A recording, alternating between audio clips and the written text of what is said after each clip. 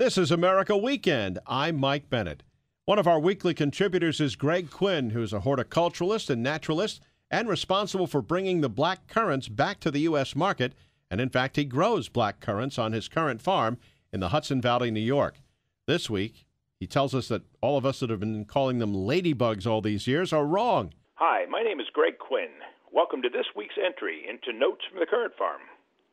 This past weekend, I went up into the attic of the old farmhouse here on the currant farm to dig out the snowshoes for a winter's walk in the snowy woods. When I switched on the light, I was greeted with a scene that could have been described in a Stephen King novel. The walls, floors, and boxes were covered with beetles, ladybird beetles. Almost everyone I know has experienced this in their house in the winter. Ladybird beetles can come in shades of red, orange, yellow, and black, and with different numbers of spots or stripes. The ladybird beetle is quite common, with 5,000 species the world over. In English speaking countries, they go by many names ladybird, lady beetle, lady cow, and ladybug. Although entomologists don't like this last name because they're beetles and technically not bugs. Interestingly, the scientific name of the family of ladybirds is Coccinellid, which is derived from the Latin word coccineus, meaning scarlet. The name ladybird originated in Britain, where the insects became known as Our Lady's bird or the lady beetle. The Virgin Mary, often called Our Lady, was often depicted in early Renaissance paintings wearing a red cloak.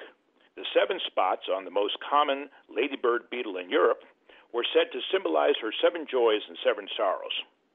When I lived in Germany, I often heard this beetle referred to as Marienkäfer, which translates to Mary beetle.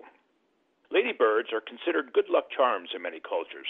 This probably comes from the fact that gardeners and farmers love them because they eat aphids and other plant eating pests. A single ladybird beetle, in both its larval and adult stages, can eat up to 5,000 insects in its lifetime.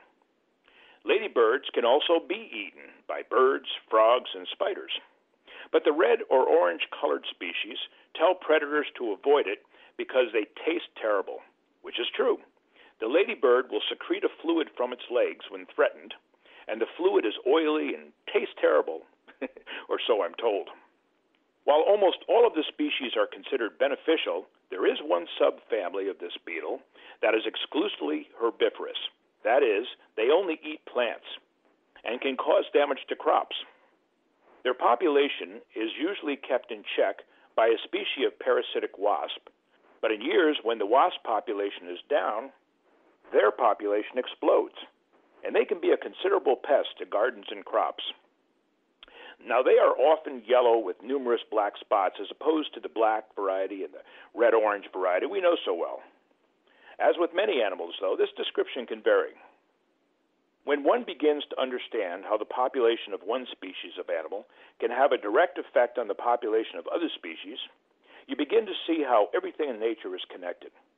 Every time we introduce a species from another part of the world, or attempt to eliminate a species that are pests to our way of life, we upset the delicate balance that is nature.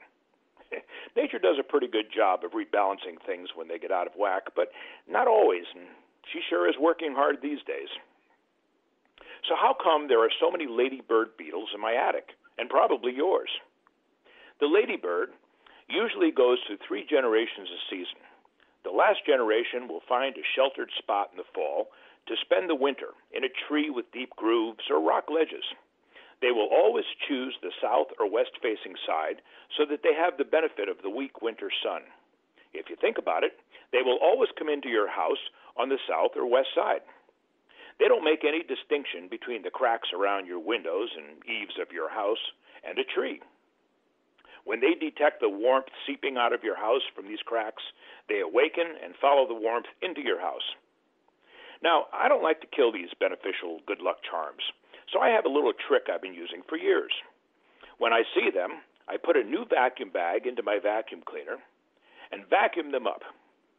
I then put the bag in a cold area, such as a garage or cold basement, or even the bottom shelf of your refrigerator, where it remains 40 degrees and they go back to sleep.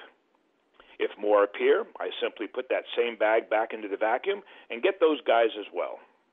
In the late spring, just before the first rose blossoms open, And when the tomatoes begin to get aphids, I take the bag outside, open it, and sprinkle them out onto my garden and onto the currant plants. And the ladybirds start feasting away and laying eggs as nature intended. Of course, don't do this if you have the yellow ones coming into your house.